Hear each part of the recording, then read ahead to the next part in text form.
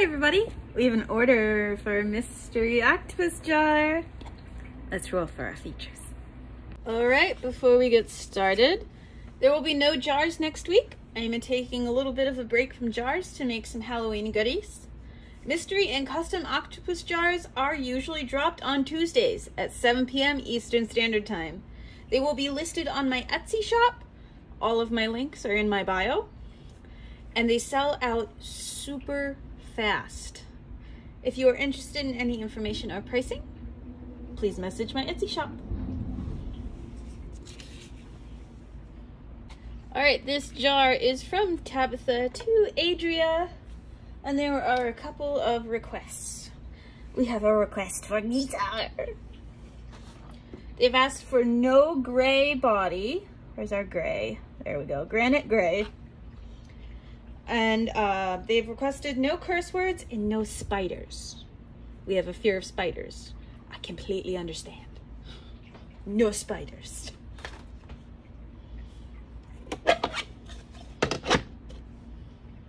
Let's roll for our body color. Eight. We have purple. Let's roll for our eye color. Six. That is six. Let's see what number six is.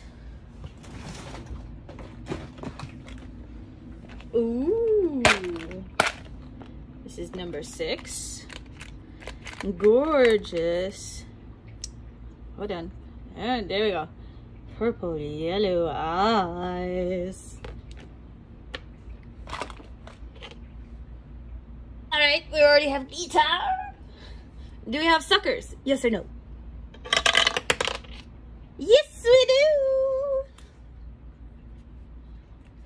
All right. What expression do we get? One, happy. All right, this customer has chosen to roll for three extras. So let's get the extras box. Up we go. Doo -doo -doo. All right, slight adjustment. All right.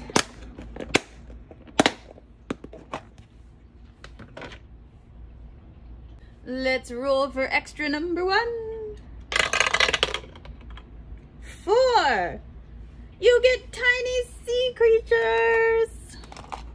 You get one of each. Excellent first roll. Extra roll number two. 13. We have a bat. A sparkly bat Extra rule number three. Six. You get the enchanted mirror. Which means I have to replace that with something. Give me a minute. All right, we're gonna put the pumpkin pie back in the extras box. there we go. All right, that is three extras. Oops. There we go.